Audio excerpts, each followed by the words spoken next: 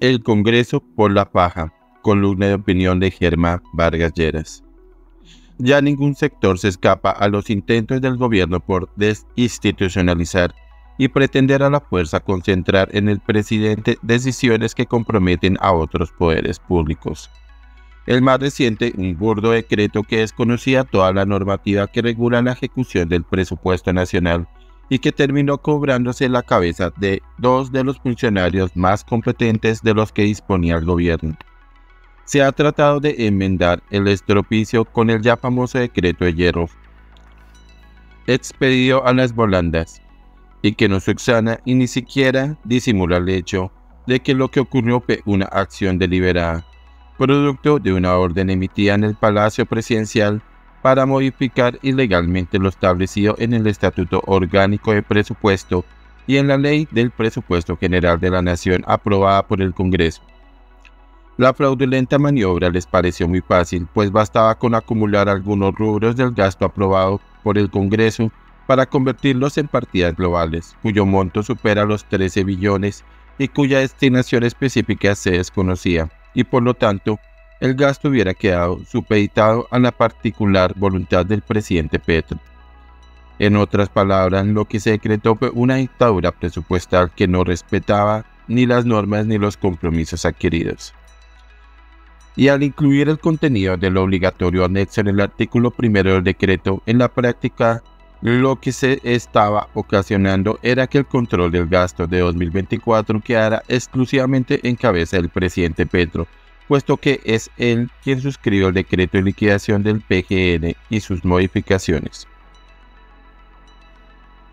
Por lo visto, Petro desconfiaba de su ministro de Hacienda y de su director de planeación, y por ello se blindaba de sorpresas por una apropiación inconsulta de recursos a proyectos de infraestructura que no fueran los de su plan de gobierno.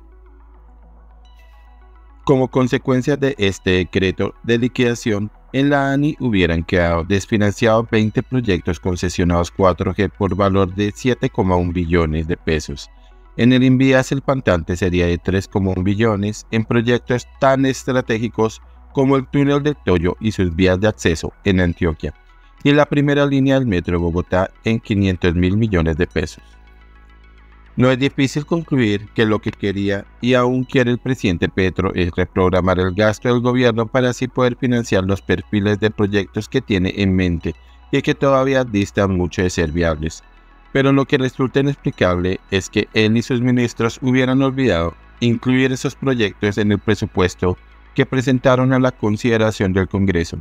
y que fue aprobado por el valor de 502 billones de pesos. Increíble que nadie haya tenido la valentía de hacerle notar al presidente Petro que, como consecuencia de su deliberado decreto 2295, el Invías no hubiera podido contratar ni realizar los necesarios mantenimientos rutinarios a las vías nacionales no concesionadas,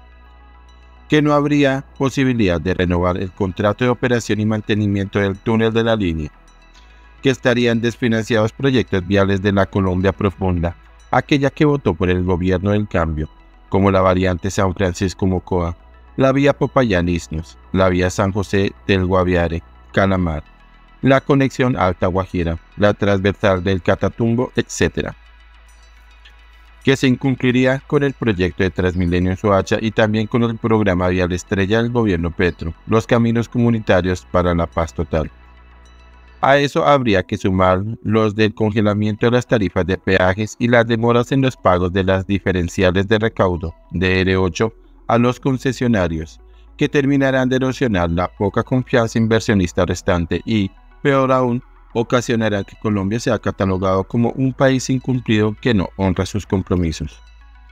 Pero Petro sigue inquieto, no confía en nadie e insiste a través del nuevo decreto publicado para comentarios en mantener en cabeza suya la última decisión sobre la ejecución del presupuesto. Esta terquedad no tiene otra explicación que la campaña presidencial de 2026, que ya está en marcha. Serán esas elecciones las que orientarán el destino de los billonarios recursos que Petro quiere distribuir a dedo y pasando, como ya es su costumbre, por encima de la ley.